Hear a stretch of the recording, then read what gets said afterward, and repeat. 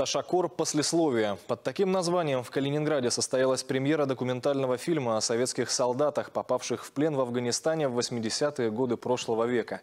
Ташакор с фарси переводится как «благодарность». Авторы назвали его в память о бойцах, выполнивших воинский долг.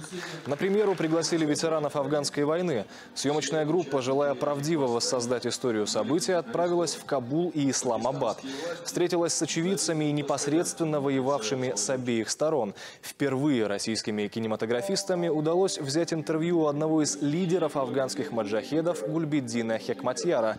От него узнали о наших солдатах, которые долгие годы удерживались афганскими формированиями. попавшие в плен, подвергались пыткам, мукам, годами сидели в Зиндане, их использовали в тяжелом рабском труде.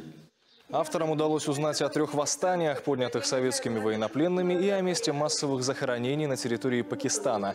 Были и те, кто добровольно сдавался, принял ислам и остался жить в Афганистане и Пакистане. Съемочная группа состояла из тех, кто принимал участие в выполнении интернационального долга. Кинорежиссер и автор фильма Евгений Барханов воевал в составе 56-й штурмовой бригады. Сегодня в Калининграде прошла первая часть документального спецпроекта, а завтра состоится его продолжение в Доме культуры «Машиностроитель» в 11 часов. Это э, экспедиция по э, информации от нашего агента, который общался с, э, со спецслужбами. О, э, информация о четырех а, до сих пор ныне живущих э, на территории Пакистана а, бывших военнопленных советских, которые попросили э, помощи возвращении на родину.